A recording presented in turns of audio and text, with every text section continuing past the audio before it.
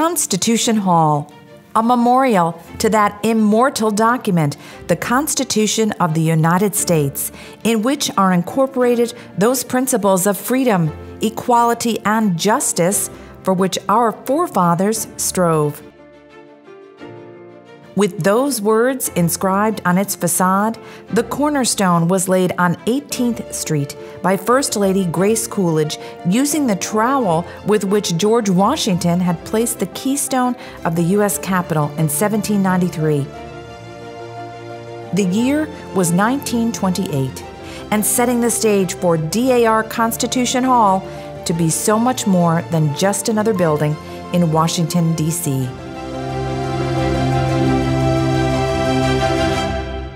Little more than three decades after its founding, the National Society Daughters of the American Revolution had already outgrown its original auditorium, Memorial Continental Hall.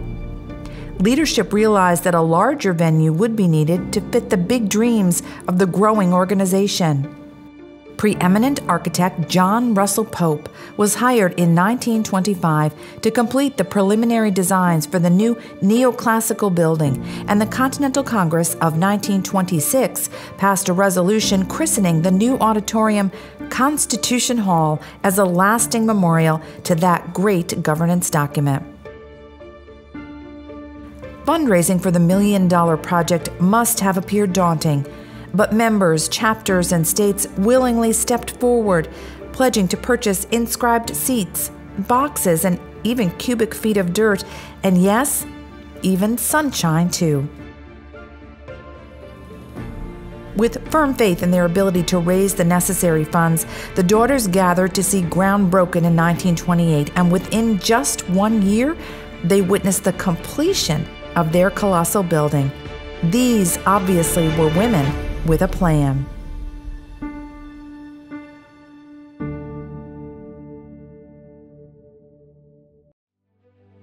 For while the National Society needed the larger space to accommodate delegates at its annual Continental Congress, members also recognized the business opportunity of renting the auditorium for special events and concerts most of the year.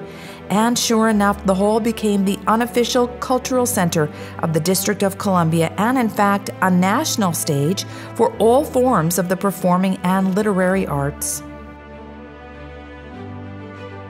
In those early years, Constitution Hall stage welcomed the world's most celebrated artists and historic events. The roster included impresarios, orchestras, choral groups, bands, and distinguished lecturers. The National Symphony Orchestra was founded at Constitution Hall in 1930 and called it home for more than four decades.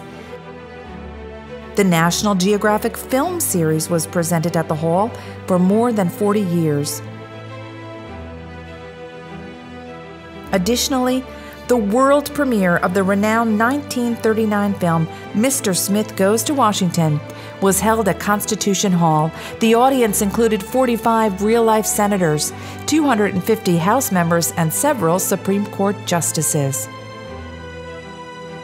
While it is often remembered for the fact that Marian Anderson did not perform here that same year, 1939, it is important to remember that she did sing here in 1943 and four additional times, including as the first stop on her farewell tour in 1964. Indeed, much important history has been made on this iconic stage. Constitution Hall earned its designation as a National Historic Landmark in 1985 for its significance in commemorating the history of the United States of America and serving as host to a variety of significant events. Most U.S. presidents since Calvin Coolidge have visited the hall, as well as other nationally notable figures. In addition to music concerts and comedy shows, other special events in Constitution Hall have included television specials and game shows, such as multiple tapings of both Jeopardy and Wheel of Fortune.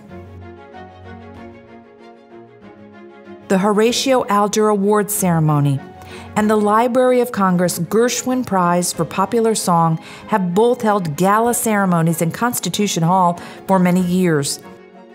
Other unique special events have ranged from the largest naturalization ceremony ever conducted within the nation's capital to an international teen robotics competition a landmark in the local community. It often serves as a memorable venue for high school and college graduations, as well as award ceremonies for multiple federal agencies.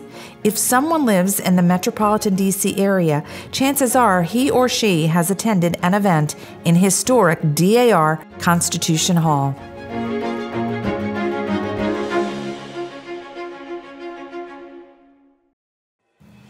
Chapter was written in the history of this landmark, with its complete closure for more than a year due to the pandemic.